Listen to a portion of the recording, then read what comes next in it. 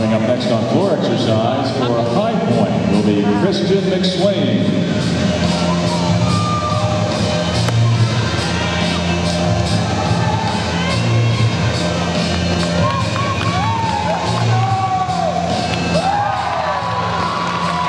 Tanner West of Cypress Academy on brains.